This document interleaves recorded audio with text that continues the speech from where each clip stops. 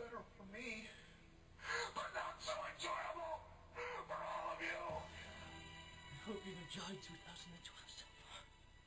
Because I haven't. They've had me locked up. Counted names. So many names.